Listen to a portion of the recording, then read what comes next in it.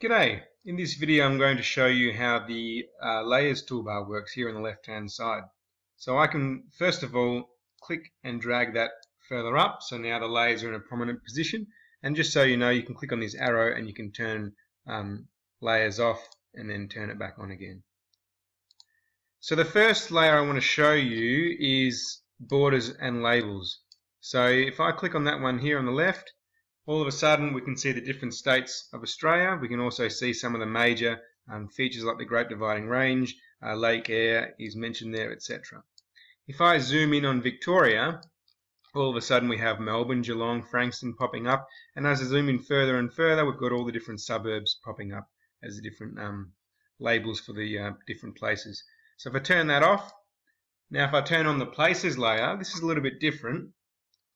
This is for all the different parts in a suburb, so you might have um, community centres, you might have train stations here, Westall Station, etc., Clayton Station, you might have airports, and as you zoom in further and further, you might have different shops, um, all different uh, schools, things like that. So those are places.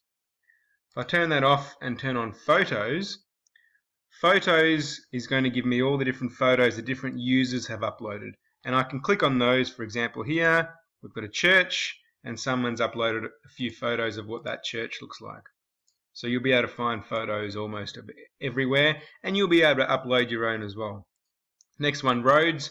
Fairly straightforward. It labels all the, all the roads and as you zoom in it's going to have some of the minor roads as well. I'll leave 3D buildings for a second. Uh, ocean, if I zoom in out, if I zoom out, sorry, um, and I click on ocean, it's going to give me some different features of the ocean and you've got all these different um, shipwrecks, um, dead zones, animal tracking, all those different things you can play around with. If I click on weather, all of a sudden it's going to give me the cloud cover. I'm not sure how often that's updated, but I'm sure you can find that out.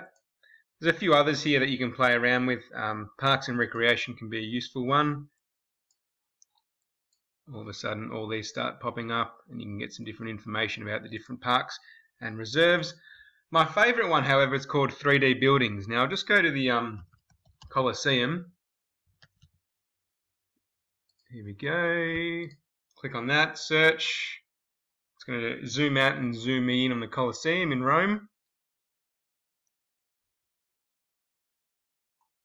Alright, now if I go down here, I showed you earlier in an earlier video how you can change the angle of what you're looking at, which is great. Now if I turn on 3D buildings, all of a sudden, the Colosseum really comes to life. Now I can zoom in and it's going to take me all the way around.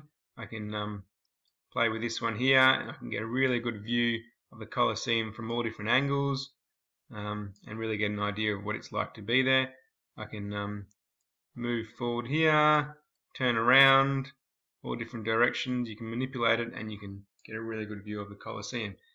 Another one, let's just go to New York for a second.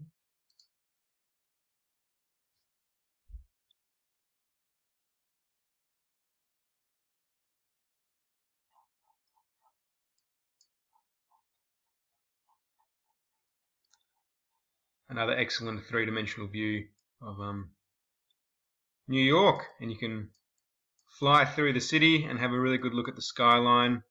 Yeah it's pretty amazing technology